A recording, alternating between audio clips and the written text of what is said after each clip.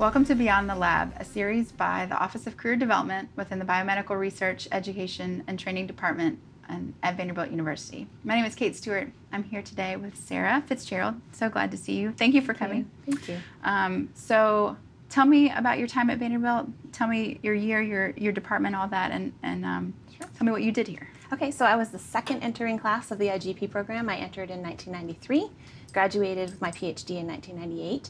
At the time, it was the Department of Molecular Biology, which has now become the Biological Sciences Department. Right.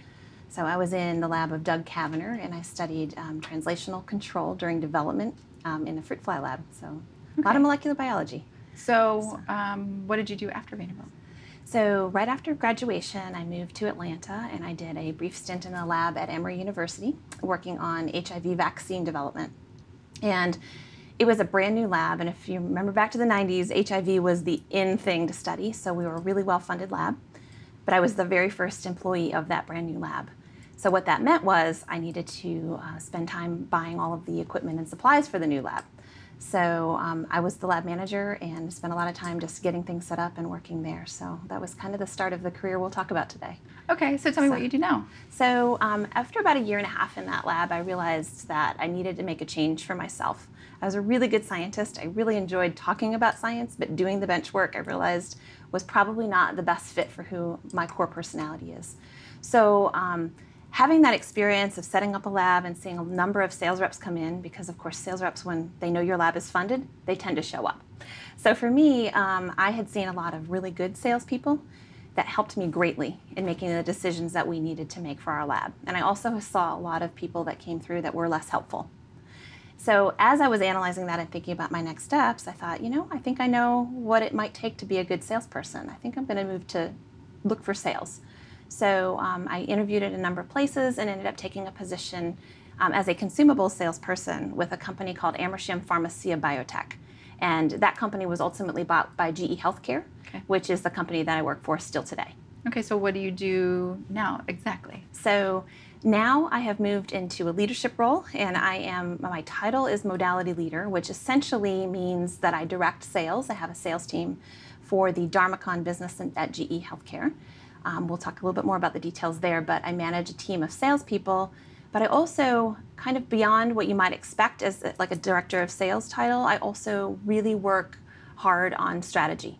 So we're looking into the long term, like what do we do with our business decisions? How do we develop products that the market needs? How might we set ourselves up for success to serve our customers? So it's it's a lot more than just doing quotes and managing a group of salespeople, which is also part of my job. Okay, so what does your daily activities look like, or a, a glimpse of your week, even, or, or your okay. day? Yeah, so I manage all of US and Canada. So what that means is I do spend a lot of time on the road.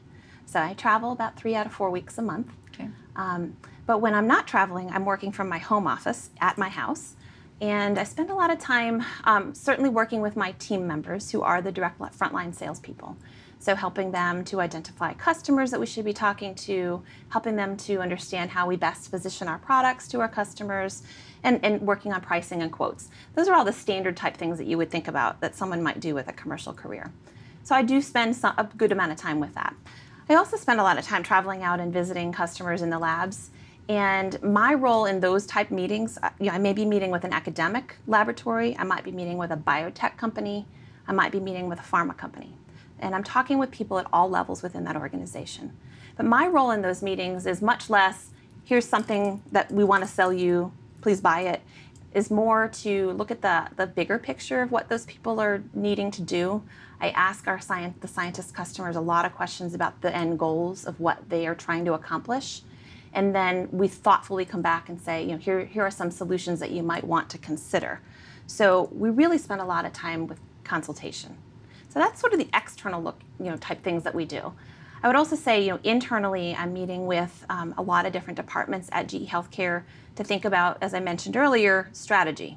So, for instance, I spend a lot of time working with marketing. How are we presenting ourselves to the market?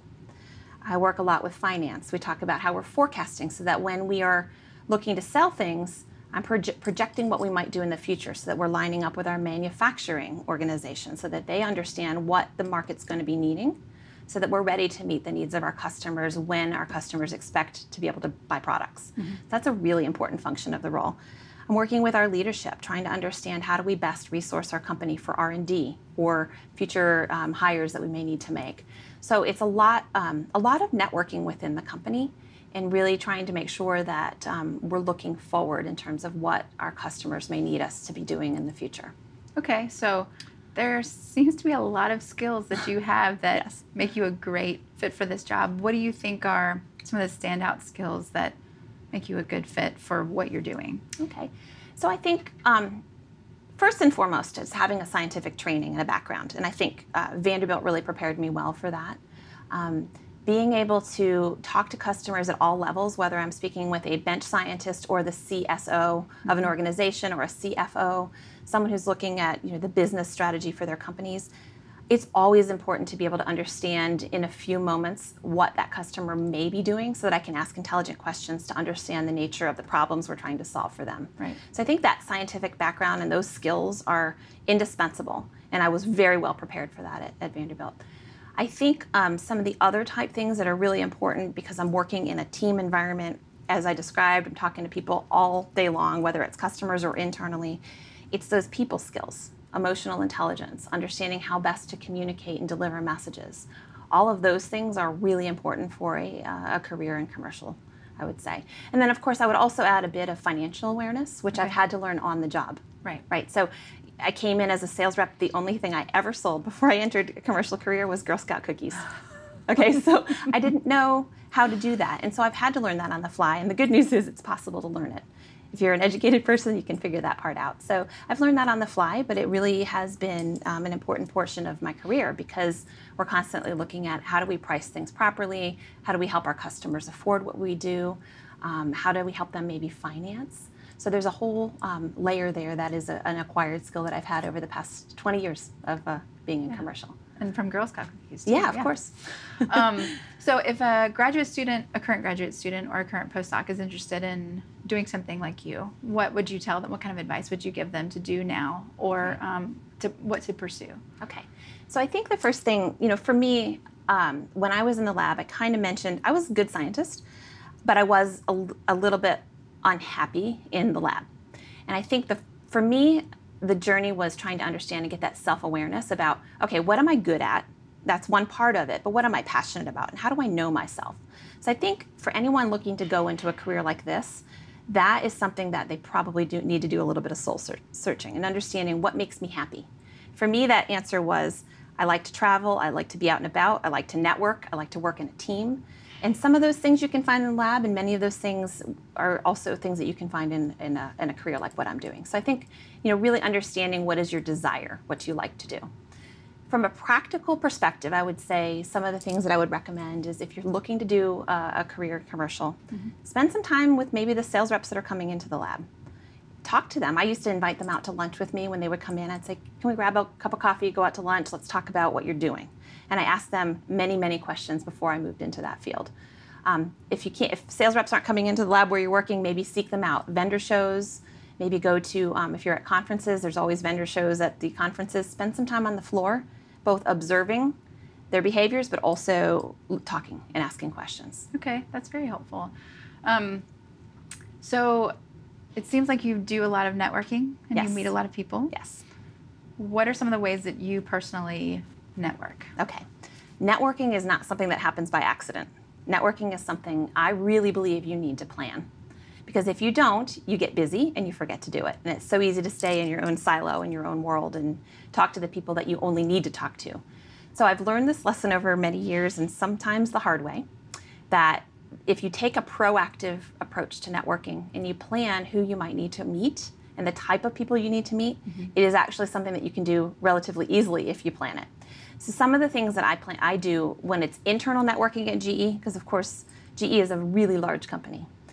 So a lot of times I'm thinking, okay, who might I need to interact with down the road, and how can I foster those relationships in advance of the time that I need them? And then I try to find out maybe someone who knows that person that could introduce me, or I find some reason where I just reach out to them and say, I'd like to get to know you better. Could we have a chance to interact? Right. That's internal. Um, external, I think one of the things that's worked really well for me is LinkedIn and using LinkedIn Navigator and you know trying to understand the relationships between the people that are out there and using um, just I, I, do a lot of searches and try to figure out who I might need to inter- interact with Yeah. I'm going to a certain geography. Who's in San Francisco doing XYZ kind of work or wherever I'm going, and yeah. I try to network that way. Okay. Tell me if you think, um, as a grad student or a postdoc is looking to pursue a, a, role like this, would they need a postdoc to, to do this yeah. work? I think the answer is maybe. It could help. Um, the role that I did after graduation was not a formal postdoc. I did take a lab manager, a senior lab manager role. I do think that it really helped me to be in just an additional lab setting and having that experience. I think having a, a variety of scientific experiences in the lab has really helped me as well. Mm-hmm. So I think if someone is looking for a breadth of scientific experience and would like to do a postdoc, it definitely could help. Okay. Um, is it necessary? No. I work with many people who have bachelors in science. I work with people who have masters, and they're also very successful. So I think the message is that there are many routes to a commercial career. Mm-hmm. I think something that a postdoc could bring to the table if someone were to do a postdoc and then come into commercial is really um, they could potentially take a more technical role in a commercial company and use that as a springboard. They don't have to be the first the first line customer facing person. Right. I think what I never realized before I got here is that there are many roles that are sort of an interim between science and commercial. So for instance, R&D would be a great example. Joining an R&D group at a company that you know sells products and to the marketplace. You are a part of that commercial team in many ways because you're thinking about what do your customers need? How do i produce a product that is actually going to be something that people want to buy? Mm-hmm. right? So they need to be interacting with customers. Um, application scientists would be a second role that i would recommend people with a phd or a postdoc consider mm-hmm. because those are technical roles but at the same time they are part of a commercial team. They're part of bringing solutions to the customers. So right I think it really depends on the person's interests, but I think that in many cases a postdoc could be beneficial. Okay. So, if you could give some words of wisdom to current graduate students and postdocs, sort of as your last question, what would you what would you want to right. tell want them to know? Right. So, I think um, one of the things that I probably have learned over my 20 years is that you know your career sometimes it kind of comes sometimes it's very proactive and you're seeking it out and sometimes you just have to seize opportunities as they come and I think um, you do need to make thoughtful choices, but sometimes taking risks in the positions that you're looking at, maybe trying something for a while, is a really good thing. And I think, you know, I did that. Leaving the lab and going to commercial was definitely a risk. Moving from being a salesperson to a manager, for me, felt very risky. Am I really going to like this? I don't know. But you can always change courses. And I think you know taking that fear out of the equation of trying something new mm-hmm. is something that I wish if I could go back 20 years I would tell myself.